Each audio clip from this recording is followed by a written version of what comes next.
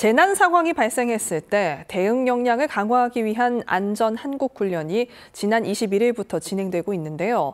군사시설에 발생한 화재를 가정해 펼쳐진 민군 18개 기관의 실전 같은 합동 대응 현장을 김연아 기자가 전해드립니다.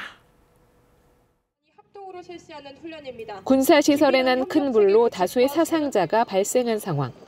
군 당국이 민관경과 함께 화재 진압에 나서고 소방차와 구급차가 출동합니다. 부상자들을 빠르게 임시 응급 의료소로 옮긴 후 응급 처치를 진행합니다. 승진 훈련장에 난 불이 탄약고로 빠르게 번져나가자 병사들이 신속히 탄약고 반출에 나섭니다.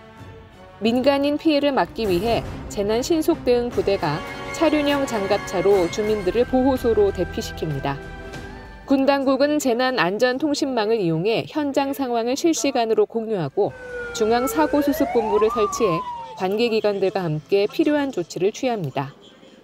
헬기 착륙이 어려운 상황에서는 의무 후송용 메디온 헬기의 호이스트 기능을 활용해 응급 환자를 신속하게 병원으로 후송하는 훈련을 실시합니다.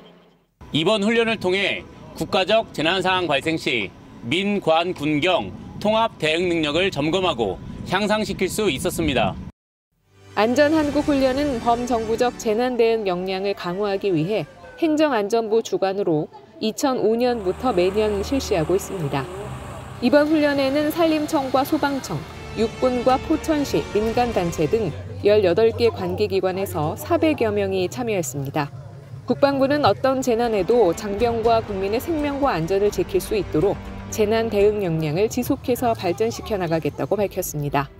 한편 합동참모본부는 지난 21일부터 23일까지 호국 훈련의 일환으로 속초와 김해, 청주 비행장과 여주 훈련장 일대에서 합동 공중제보급 훈련을 실시했습니다. 공중제보급 훈련은 작전을 수행하는 전투부대의 전투력 유지를 위해 공중을 통한 장비와 물자의 적시 수송을 보장하는 훈련입니다. 이번 훈련에는 공군 기동정찰사령부와 육군 항공사령부, 미군 353 특수작전비행단 등이 참가했습니다. KTV 김연아입니다.